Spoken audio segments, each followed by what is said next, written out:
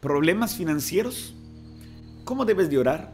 ¿Qué es lo que tienes que hacer? En Génesis capítulo 47 encontramos la historia de José de cómo es que él administró todos los recursos en Egipto. Hasta este momento encontramos que José presenta a su familia ante el faraón. De ellos escogieron a cinco pastores de rebaños. Y también se menciona de cómo el faraón tuvo benevolencia ante la familia de José. A partir de allí, José empieza a administrar de una manera muy interesante tienes que comprender que la hambruna aquel entonces fue muy grande, tan grande que se expresa por lo menos en tres etapas. Una, los egipcios compran grano con dinero.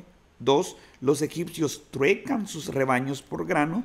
Y tres, los egipcios hipotecan sus tierras por grano. Estaban viviendo momentos muy difíciles. José incluso establece una recaudación de impuestos. Había cobrado un impuesto del 20% durante los años de abundancia y ahora cobra otro 20% como parte de la propiedad de las cosechas, que es mucho menor que el promedio del 33,33% para los aparceros de la región. Y fue tan buena la administración de José que hubo abundancia de recursos en el pasado. Cuando hablamos de problemas financieros, normalmente nosotros le pedimos a Dios, Señor, ayúdanos a pagar nuestras deudas. Pero también nosotros deberíamos de ser consciente que debemos de pedirle a Dios que nos ayude a ser buenos administradores del dinero. Si nosotros no podemos administrar nuestros recursos de 100 dólares, 50 dólares, 10 dólares, tal vez las cosas pequeñas que nosotros recibimos en nuestras manos, ¿cómo nosotros podemos llegar a administrar los recursos cuando tengamos mayores compromisos de mil dólares, dos mil dólares, tres mil, diez mil o más?